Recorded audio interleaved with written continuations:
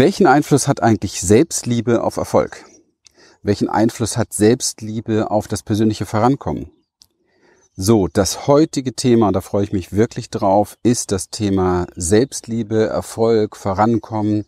Was hat das Ganze miteinander zu tun? Wo kann man sich da im Wege stehen und wo kann man da tatsächlich richtige, ja, Ressourcequellen in sich neu wecken, wenn ich es mal so sagen darf?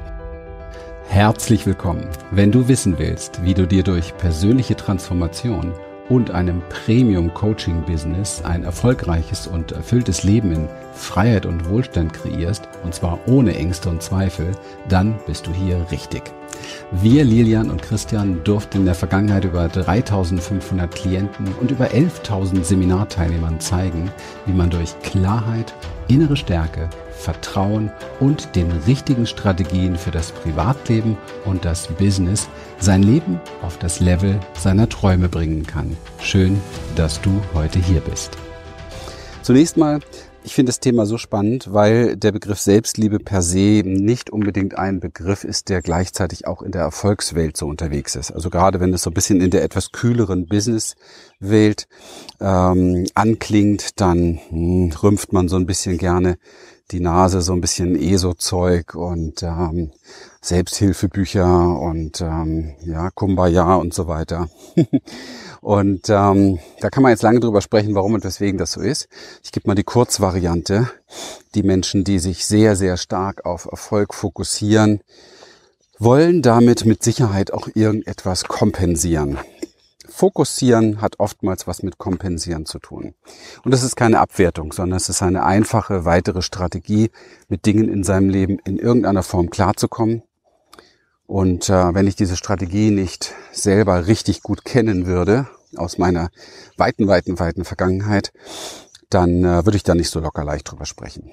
Es ist für Menschen nicht einfach, mh, Dinge in sich anzunehmen, die sich nicht gut anfühlen, die ähm, mit Schmerz, mit Wunden verbunden sind.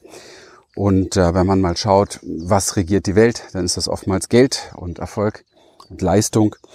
Und da ist es natürlich naheliegend, wenn man ähm, für sich persönlich auch so das Rezept entwickelt. Okay, ich mache Business, ich werde erfolgreich, baue was Großes auf und dann brauche ich mich nicht mehr so sehr um meine Innenwelt kümmern. Und ich brauche mich auch nicht mehr so sehr um die Sachen kümmern, die bei mir innerlich vielleicht schräg hängen, die verletzt wurden, die verwundet wurden, die irgendwo im Trauma hängen. Also so habe ich es zumindest auch gemacht. Die, die mich ähm, schon ein bisschen kennen, wissen, ich bin äh, ein Berliner Wedding-Hinterhofskind. Meine Eltern haben mehr Zeit damit verbracht, sich gegenseitig zu vernichten, als für mich da zu sein. Das ist kein Vorwurf, die haben auch ihr Schicksal gehabt. Das ist aber sehr wohl etwas, was natürlich mein Leben massiv beeinflusst hat.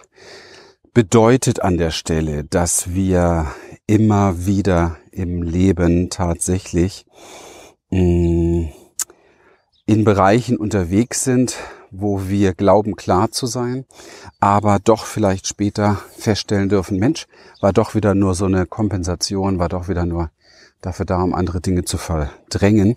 Ich habe das viele Jahre praktiziert, denn die Unsicherheit, oder das Maß auch an Misstrauen, das Maß an Verletzung, das Maß an Enttäuschung, das Maß an Abwertung, was ich mitbekommen habe, war für mich Grund genug zu sagen, äh, damit will ich nichts zu tun haben. Ich mache jetzt hier richtig Kohle, werde Millionär, habe ein geiles Haus und eine geile Yacht und ein tolles Leben. Soweit zur Theorie oder zur Fantasie. Es ist ein bisschen Fantasy Island, weil viele Menschen natürlich so eine Idee haben, gerade junge Menschen, und das ist auch völlig in Ordnung völlig verständlich. Das Leben kommt von ganz alleine. Was meine ich mit dem Leben? Mit dem Leben meine ich, dass all die Dinge, die wir in uns begraben, ans Licht kommen wollen. Ja, sie wollen ans Licht kommen, weil das Leben dem Leben zugewendet ist und das bedeutet, dass das Leben nach Heilung sehnt. Ja, es möchte ganz gerne die Dinge, die nicht in Ordnung sind, geklärt bekommen. Und ähm, warum das so ist, weiß ich nicht. Aber da ich seit über 30 Jahren Therapeut, Coach bin, ähm, weiß ich das nun mal halt. Ja. Keiner kann vor sich selber weglaufen. Und damit meine ich, keiner kann seine Themen, seine inneren mh, mm, einfach so überlisten, sondern sie wollen integriert werden, sie wollen in irgendeiner Form ähm, geklärt sein. Da soll Frieden rein, eine Annahme rein, eine Integration. Wir dürfen ja nicht vergessen, dass alles, was wir jetzt gerade besprechen, hier was sogenannte Themen sind, ist eigentlich nichts anderes als Lebensenergie, fließende Lebensenergie. Und diese Lebensenergie ist immer dann, wenn sie in uns verneint wird, blockiert. Ja. Und wir brauchen diese Lebensenergie für unser Business. Wir brauchen diese Lebensenergie für unser Privatleben. Wir brauchen diese Lebensenergie für unsere Lebendigkeit. Wir brauchen diese Lebensenergie für unsere Beweglichkeit. Ja, tatsächlich auch geistig, aber auch körperlich.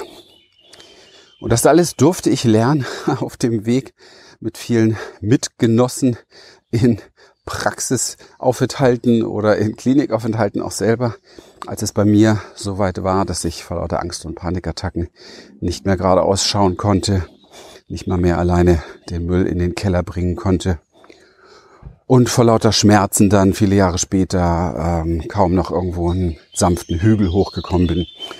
Und ähm, ja, das sind so Dinge, wo man sich dann fragt, hey, habe ich dann alles getan? Ja, habe ich die richtigen Mindsets entwickelt und habe ich die richtigen Dinge gemacht? Weil du weißt doch, du bestimmst dein Leben selber und du kannst alles äh, erreichen, was du willst, sagt der Adler prophezeiende Motivationstrainer, der keine Ahnung hat von dem, was Leben wirklich ist. Oder sagen wir es mal so, viele davon wissen es, aber das vermarktet sich halt nicht so gut. Es vermarktet sich nicht so gut, den Leuten zu sagen, hey, hast du eigentlich einen Plan? Wenn du die Eisbergtheorie jemals verstanden hast, dann musst du doch checken, dass 95 Prozent der Dinge, die dich ausmachen, nicht greifbar sind. Oh mein Gott. Das passt nicht so gut zusammen, wie im nächsten Moment zu sagen, du kannst dein Leben selbstbestimmt in den Griff kriegen und rocken. Okay, also wir haben Dinge in unserem Leben, die nicht so einfach sind, nicht so einfach zu handeln sind. Und diese Gewinner-Supertypen, die natürlich das nicht unbedingt auf der, auf ihrem Lebensplan haben, die machen natürlich gern, den anderen weiß, sie wären die Superhelden und du brauchst das eigentlich nur nachmachen. Aber wenn das so einfach wäre mit dem Nachmachen, dann frage ich mich, warum das noch nicht passiert ist. Ja, denn es gibt ja genug Menschen, die vormachen. Es gibt abertausende Bücher, Videotrainings und weiß der Teufel nicht alles von Sachen, wie man sein Leben super rockt und zum Superstar wird, zumindestens Instagram was das Videomaterial und das Fotomaterial betrifft, wie es dann zu Hause wirklich aussieht, das weiß dann lieber mal keiner. Aber das alles ist möglich in der heutigen Schein-Fake-Welt. Wir sollten uns davon nicht so sehr beirren lassen, sondern, und was meine ich jetzt mit Erfolg und Selbstliebe, lieber gucken, was ist denn das, was ich an mir nicht mag? Was ist denn das, was ich an mir ablehne? Was ist das, was ich hasse in meinem Leben? Was ist das, was ich unbedingt weghaben will? Was ich unbedingt verändern will? Was ist das, was, oh, ich muss mal kurz anhalten hier im Redefluss. Habt ihr das, hört ihr das?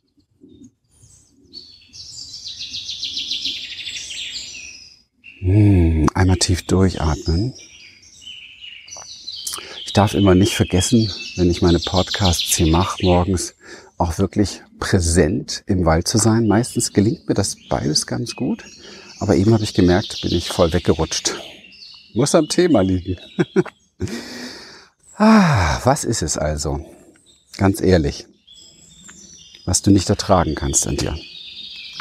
Was ist es, was du so gerne mit Business, mit Entertainment, mit keine Ahnung, Alkohol, Musik, Sex, Drogen, wie auch immer deine Droge aussieht, ähm, vom Buffet fegen willst, dass es nicht mehr sichtbar ist. Und ich sage dir, das genau, was du da an Antworten findest, ist das, was ich meine mit Selbstliebe, ist so wichtig für dein Vorankommen, so wichtig für dein persönliches Vorankommen wie dein Business, weil das ist nichts anderes als sowas wie einen, ein Nein im Leben, eine gebundene, eine gebundene Lebensenergie.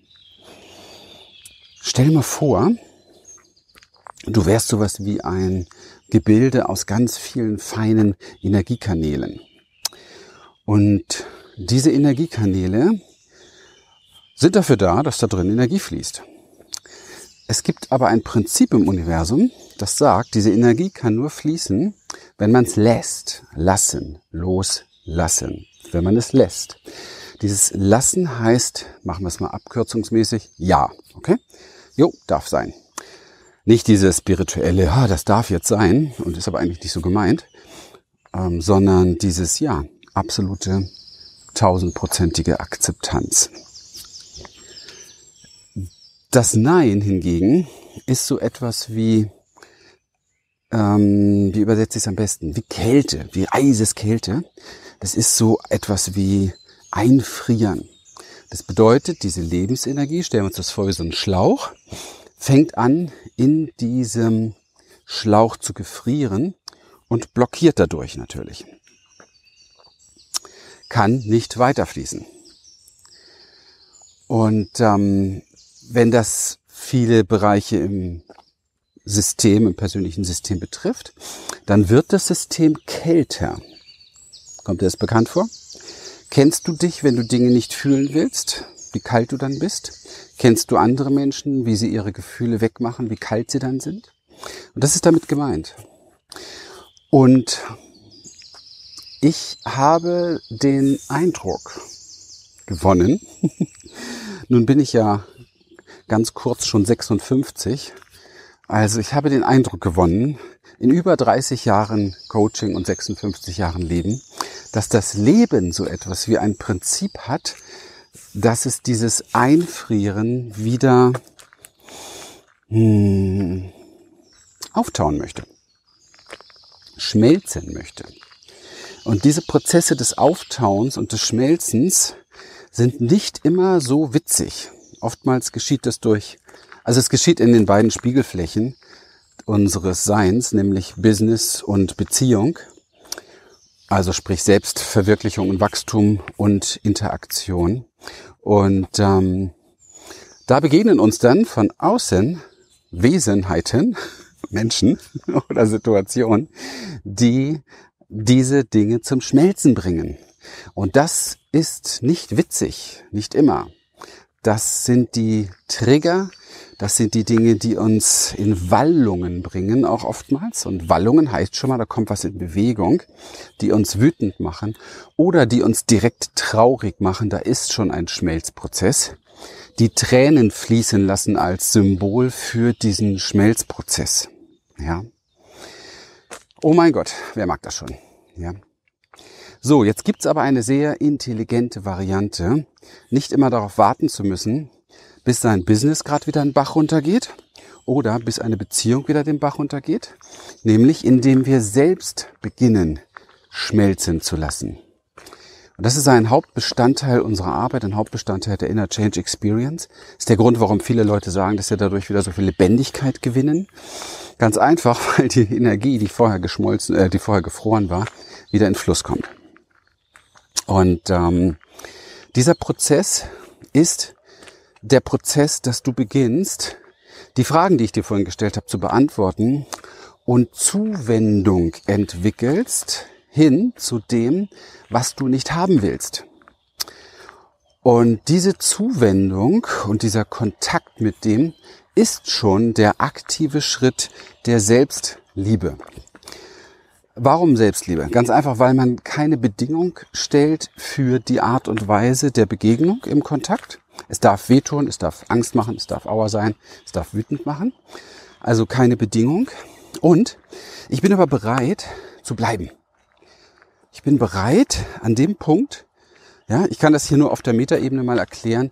Im Training äh, machen wir das natürlich ganz explizit mit unseren Klienten und äh, können richtig beobachten, wie diese Dinge wieder ins Schmelzen kommen, wie wieder Durchbruch geschehen kann dadurch weil diese Lebensenergie natürlich gebraucht wird. Sie wird gebraucht für einen Businesserfolg, sie wird gebraucht für deinen Durchbruch und sie wird natürlich ganz genauso gebraucht für deine Beziehung zu dir selber oder zu anderen Menschen, in deiner Partnerschaft beispielsweise.